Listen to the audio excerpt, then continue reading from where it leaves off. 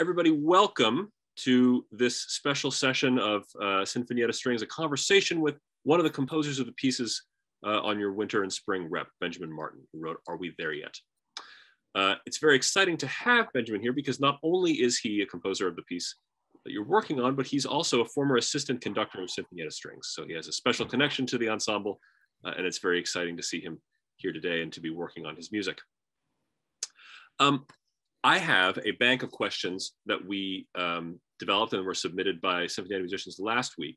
But before we crack into those, I would like to open the floor to Sinfonietta musicians to pose questions uh, about being a composer, about having written Are We There Yet, about your preoccupations, about your, your, your background, your future plans uh, to Benjamin. And if you would like to say those out loud, you may. If you'd like to type them in the chat, you may also do that. So I hereby open the floor.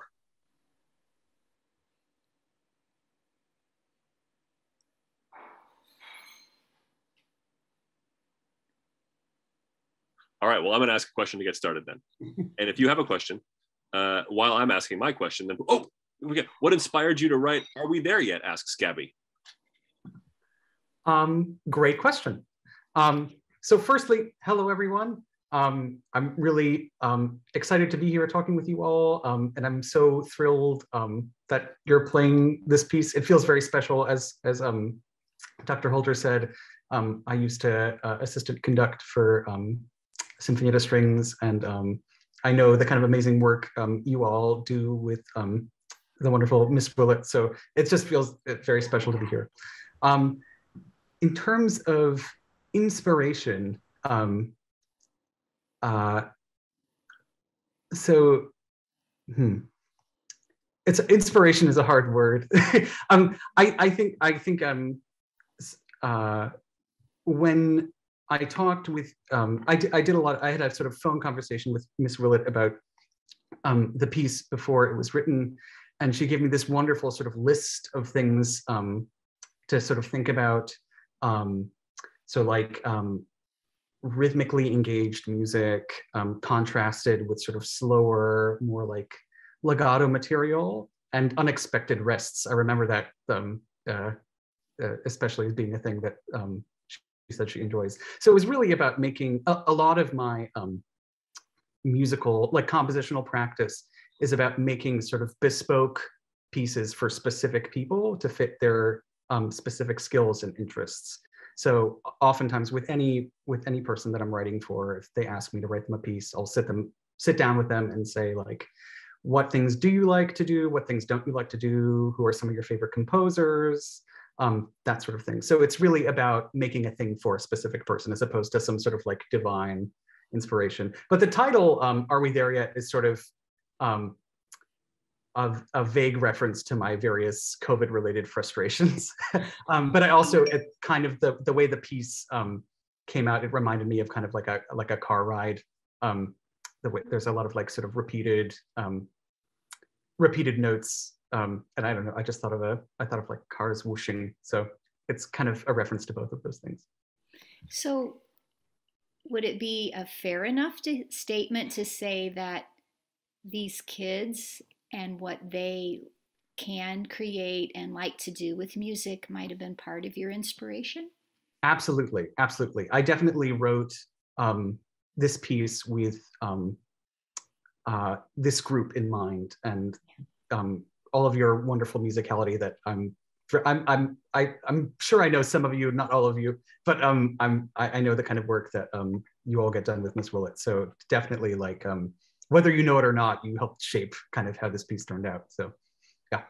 And I get the part about a car ride because huh. there's points in it where the rhythm is extremely driving and you driving in the sense of pushing forward, not mm. with a wheel and so you you get this little bit of a feeling of a, a machine right a little hmm. bit of that is is my impression of it might not be what you were intending but there's definitely this momentum this forward movement hmm. one of my teachers used to say when when asked about inspiration that one of the things that composers do and all, all artists do it and a lot of people in general do it is they have they they have like a basket in their minds or in their brains and they fill that basket with various things that they encounter whether it's films or you know other pieces of music or art or, or conversations they have people that they know real life experiences. Um, and then when you shake that basket and the things in it fall into a particular shape that phenomenon is inspiration. Huh. Um, and it, it, to me it seems like you had a couple of things in your basket there that happened to fall into a particular shape. Um, for this piece and one of them was working with sinfonietta in the past and one of them was this phenomenon of like the sort of car ride and one of them was your lived experience during the, the pandemic of like I, I imagine maybe some impatience or frustration with the course of events. Certainly. That's very beautifully put. I love that um i love that metaphor. Very cool. Yeah. Uh, do we have another question or shall i reach into my question bag Oh, we got we got several. Uh, what made you want to ask the fast and driving parts, but then the church-like parts? Ah, uh, right. Um, great question. So I actually um, wrote the sort of church-like part, this like slow section first, um, and I sent it off to. There's a very direct answer to this question. I sent it off to Miss Willett, and she's like, "This is great but you should add some stuff here that's like harder um, because we can do harder things. So that's um, that's part of what inspired the more um, fast and driving um, material is just a sort of um, a sort of uh, request request for like a technical and rhythmic challenge. Um, but also I thought it would be a fun thing to experiment with because the, the, sort of the stuff in the middle relates kind of to the stuff that happens at the end. Like the stuff at the end is, is, is sort of like a sped up version of the slow chorale in the middle. Um, uh, but yeah. Um, shall I just go through these um, in the chat? Okay. Um, so I, for music, um, I am still attending Oberlin Conservatory. I mean, I'm going into my last semester um, in February. Um, uh, so yes, I've studied, um, I actually entered as a vocal performance student. Um, now I'm in my fifth year now. Um, and then my sophomore year, I switched uh, to the composition major. Um, uh, uh, what made, uh, I, I'm sorry, can I can I ask for a little elaboration Please. on your response, So um, that's a school that you're attending to study music right now, but uh, I would like to know a little bit more about your preparation, maybe even as a middle schooler and a high schooler, uh, studying music or, or participating in music. Got it. Yeah. Um, so my first musical experiences, um, my first big musical experiences were in middle school, singing, singing in a children's choir.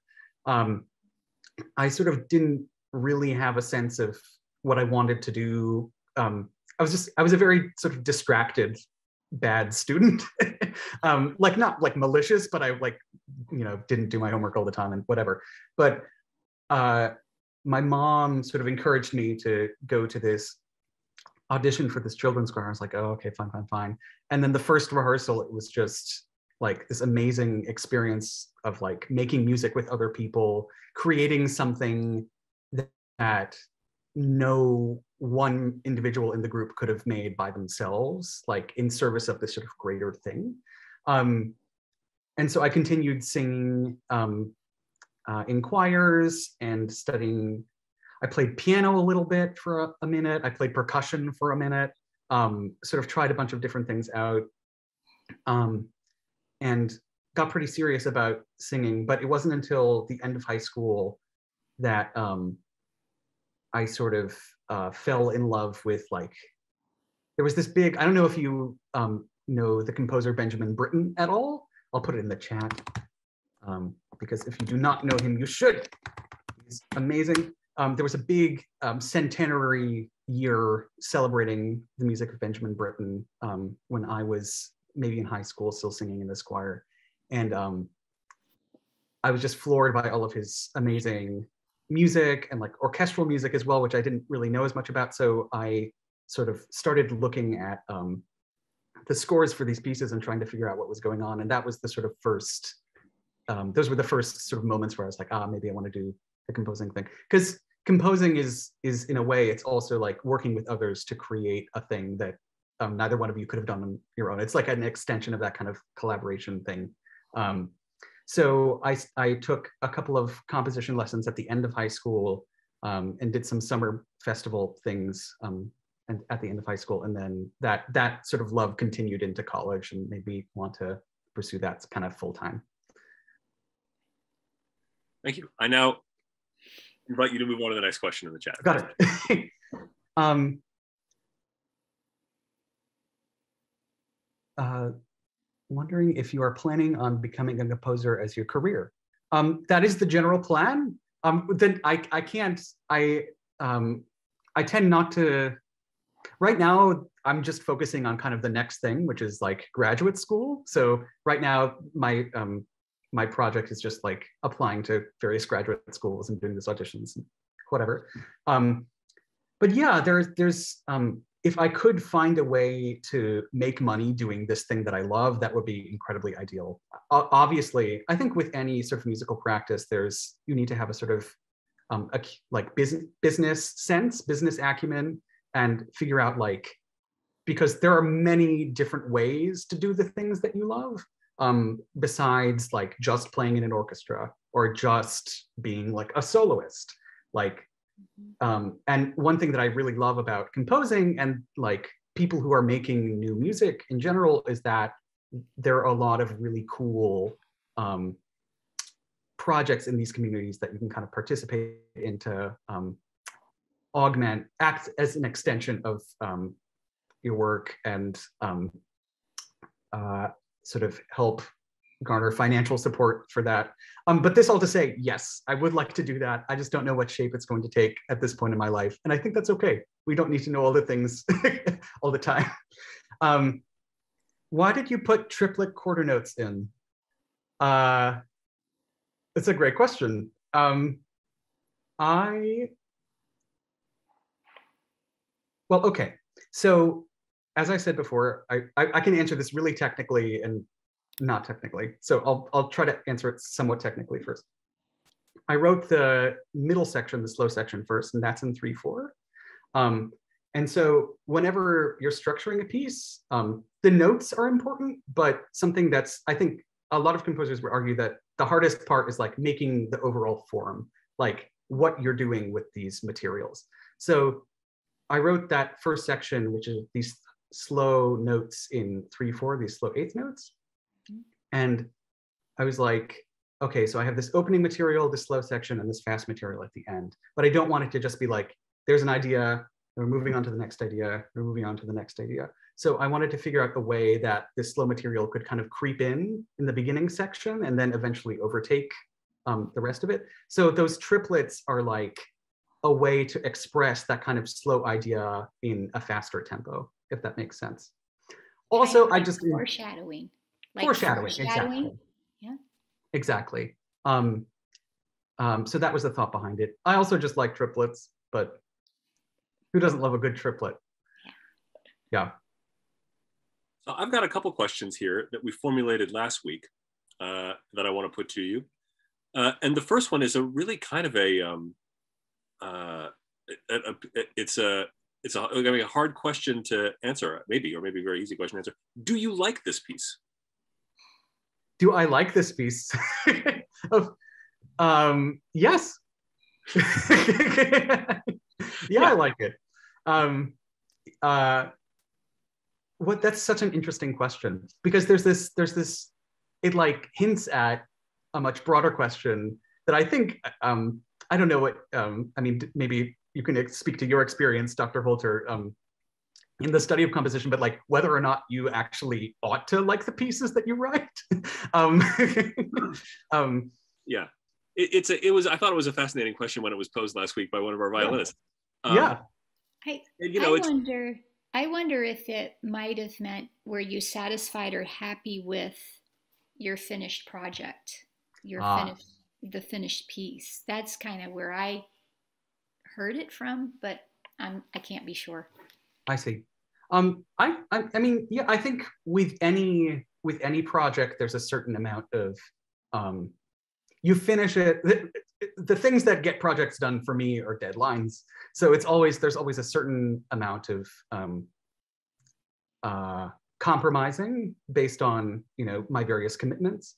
Um, I think that I like to think of each individual project as like a snapshot of where my head was at that time. Um, I think going back to revise things isn't usually as productive. It depends, um, but kind of once a thing is is out like there and done, I and and it kind of works. Like you know, if there if there are things in the piece that don't work like technically or musically, certainly um, revisions are um, okay. But um, yeah, I mean, I was just thrilled that I was asked to write this piece for um, this group that I, you know, uh, have a special connection to. But yeah, I think it's not good to. I mean, I don't know. I try not to dwell on like, oh, I could have done this differently. But I mean, of course, you you always think about those things. But yeah. Well, whether you like it or not, we do. Oh, thanks. That's very sweet. Yeah. Let's not forget who's working for whom here, right?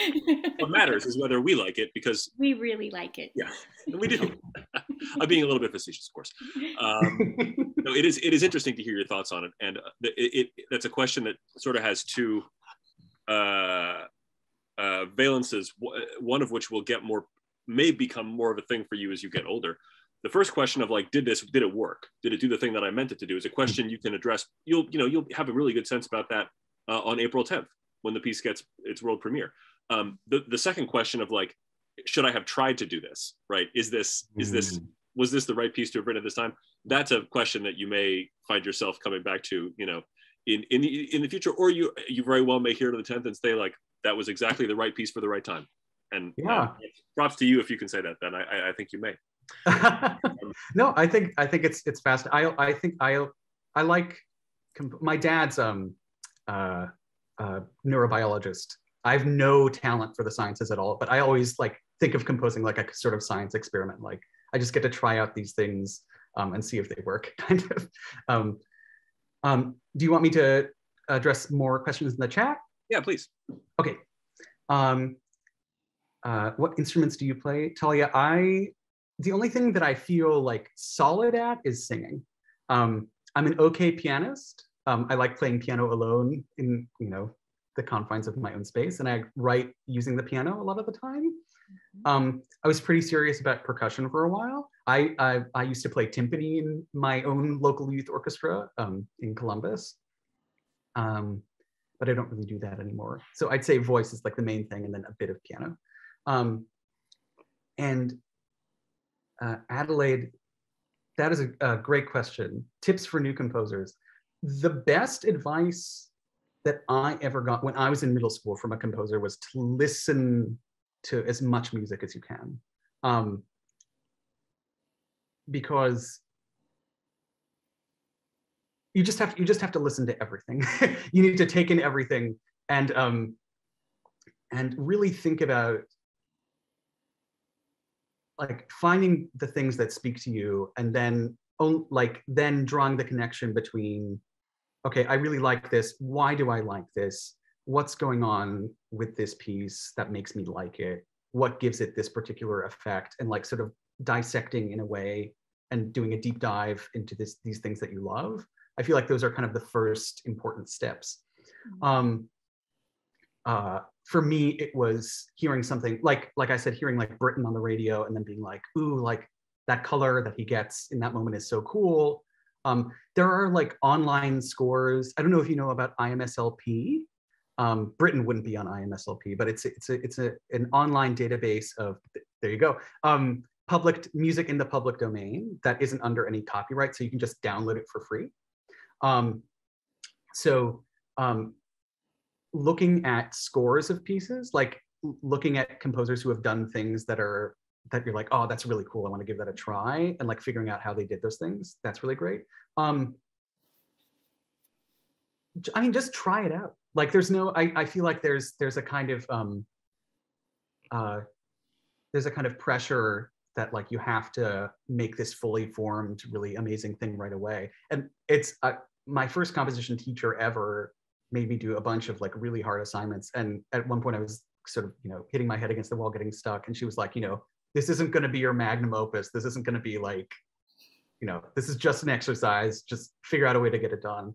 Um, and it's kind of like when you're in school, like writing essays, like you're not expected to, you know, just the practice of doing it is kind of great.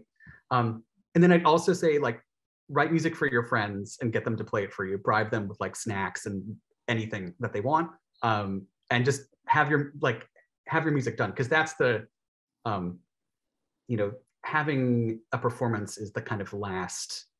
It's really when a piece gets finished in a way. Um, uh, other questions? Everybody check out IMSLP. Um, Aiden asked if I've made other pieces, then are we there? Yes, I've made a, a whole bunch. um, in school, they make you, my first year of school, you have to, um, I had to write like a piece a week for like many months um, uh, as a kind of uh, sort of just um, mental exercise. Um, but yeah, I've, I will, pretty much anybody who asks me for a piece, I will write them a piece because I just love doing it so much. So I've written a lot of music. Um, uh, as a function of being in school and whatever. And for for all all sorts of things interest me. So I've written a lot for lately. I've been writing a lot for voice because I like working with like text, setting poems. Um, uh, earlier this year, I wrote a piece for uh, violist slash folk singer with Sinfonietta Orchestra at Oberlin, which was really fun. Um, uh, writing a piano piece right now. So yeah, um, all sorts of things. Um, do you think that the piece fits what you wanted to achieve? Um, I think so, yes. I mean, again, you know, it's, we, there's this thing, you know, um, hearing something only in your head and on MIDI, although I try to avoid MIDI as much as I can, um, it's only um, when you hear it live that you really get a sense of, you know, how it's gone. Um, so uh, I, I, I, you know, there's no way to really know until you hear it. But I, you know, I feel, I feel confident about it. um, but uh, yeah, it's interesting. Um, I think it points to a question of like how you measure your own success as a composer, which can sometimes um, uh, be tricky. Uh, but uh, yeah, I, I think it's you know reductively yes. that would be my answer. Can I ask, uh, how do you want this piece uh, to make the listener feel? Mm. Or how do you want this piece to invite the listener to feel? Or how do you want this piece to enable the listener to feel, let's say? Um, great question. Um, I think that, uh, you know, I hope that it's a sort of energizing, fun piece. Um, I, that was sort of my intent. Um, and uh, that's kind of i mean beyond that um i don't think i don't i don't think they you know they, they can feel however they want and that's that's fine um uh yeah that's I, I guess that's what i'd say um am i writing anything right now right now um yes i'm working on uh a piece for violin and piano for my friend's recital you know Johnum, right? Yes. Yeah, I'm writing a piece for Johnum right now for his recital. Um, wow. Yeah, um, he is amazing, amazing, amazing, amazing musician. Um, and then writing a piece for um, my violist friend, aforementioned violist singer friend, um, for viola and piano, um, and then uh, a piece for three violas. Um, so a lot of a lot of viola lately, actually. um, that's what I'm working on right now.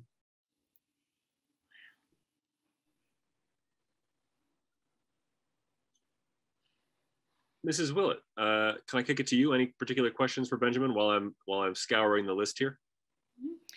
So last week at our rehearsal with the violins, we've we've learned our notes and rhythms. That's always step one.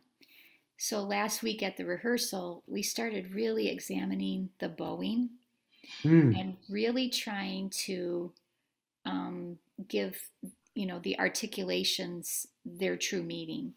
And so at the beginning, we're we're at the frog, and it's really um, some heavier, aggressive playing, mm. um, and they did quite well with it. Mm. And we're lifting, and that's allowing us to to place the emphasis on the beat. Um, and I'll do that with the cellists and the bass player and the v- bass players and the violas the next time we meet But then the step after that is going to be the church like part, Mm. uh, the section. And there, I think the kids have a pretty good sense of, you know, a smoother, more connected uh, length to the bow. Mm. Um, what it, outside of what I just mentioned, is there anything more you would elaborate on with what you intended? Are we on the right track? What would you add to the things I just spoke about um, that stand out in your mind? I think I think you're. I mean, that all sounds spot on. Um, Okay, good. and I'm glad to hear that. Um, I don't know. It's, it always fascinates me to hear about because I'm not a string player by trade. So um, as much as I've learned, it's always a learning experience for me. Um, uh, which is also part of why I enjoy composing. I get to learn so much about so many different things. Yeah. Um, but I mean, yeah, that that sounds that sounds wonderful. I think that I I don't um, I feel um, I don't know that I'd be comfortable giving more being obstinate about any sort of bowing thing beyond that because I just don't I can't physicalize it in my own body in the way that I know you you all can. Yeah. So I think I yeah I I trust your judgment for sure. Okay, good. And that in that opening, that the cello line that that's in tenor clef, the the kids have been having a great time learning that. Thank you for giving them the challenge. I think they appreciate it. Um, but that's contrary to the big, heavy, aggressive rhythmic stuff that we did in the violins last week. Hmm. And so the fun part's going to be to represent both of those. And to me, that's what makes it so interesting, I think, for the listener that they're going to get both of those sounds at the same time. And um, I don't know that that might be unexpected for some. Um, Hmm. But we're we we're going to work on drawing that cello line out, um, which will be tricky because the rest of them are making quite a ruckus with with the eighth Right. ones. Um, so we'll be learning how to balance that. Hmm. So. Well, we're just about at our time. Uh, we got about two, one, two minutes left. Do we have any final questions for Benjamin Martin, real quick, before we sign off here?